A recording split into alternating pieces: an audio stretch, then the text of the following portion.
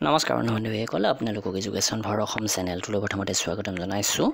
এক লাখ চাকৰি নিযুক্তিৰ শুভাৰম্ভণিৰ প্ৰথমতে আহিছে শিক্ষক নিযুক্তি আৰু ইয়াতে আমি প্ৰথমতে দেখিবলৈকে পাইছোঁ আছাম টেটৰ পুনৰ পৰীক্ষা।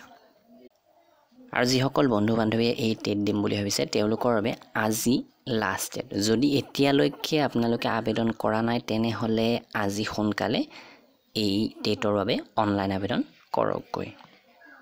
আৰু ইতিমধ্যে আপোনালোকে গমেই পাইছে টেট এক্সাম অনুষ্ঠিত হ'ব চৌব্বিছ অক্টোবৰ দুহেজাৰ একৈছত। মাথো এমাহৰ সময় দিছে।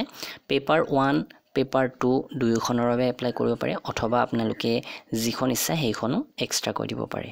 আৰু এই টেটৰ বাবে অসমীয়া মাধ্যমত যদি পি ডি এফ কিতাপ আপোনালোকে কিনিব বিচাৰে তেনেহ'লে ডেছক্ৰিপশ্যনৰ লিংক চেক কৰিব অথবা Assam G K P D F dot com visit কৰিব।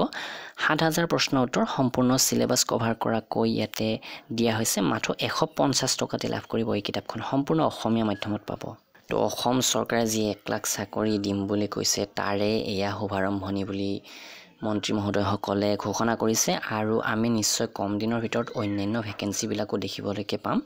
আৰু যিহেতু তেওঁলোকে কৈছে যে মাৰ্চ দুহেজাৰ একৈছৰ ভিতৰত যথেষ্টখিনি নিযুক্তি দিয়া হ'ব তো এতিয়াও যথেষ্টখিনি সময় আছে।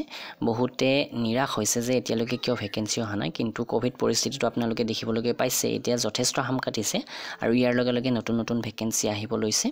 আৰু কম দিনৰ ভিতৰত আগৰ যিবিলাক আমি এপ্লাই কৰিছোঁ তাৰেও নিশ্চয় এক্সামৰ ন'টিছ আহিব। লগতে বৰ্তমান অসম পুলিচৰ যিহেতু হৈয়ে আছে তো তেনে ক্ষেত্ৰত একেলগে ভালেকেইটা এক্সামৰ বোজা হয়তো চৰকাৰে ল'ব বিচৰা নাই। কাৰণ অসম পুলিচতো বহুতে ইণ্টাৰভিউ দিব আৰু সেইমতে যদি একেটা দিনতে তেওঁলোকৰ অন্যান্য এক্সামো পৰি যায় তো তেনে ক্ষেত্ৰত অসুবিধা হ'ব। তো সেইবাবে অসম পুলিচৰ ইণ্টাৰভিউ যিটো পি ই টি হৈ আছে এয়া শেষ হোৱাৰ লগে লগে অন্যান্য এক্সামবিলাকৰো এডমিট কাৰ্ড আহি যাব। তো ভিডিঅ'টো লাইক কৰিব শ্বেয়াৰ কৰিব। ধন্যবাদ।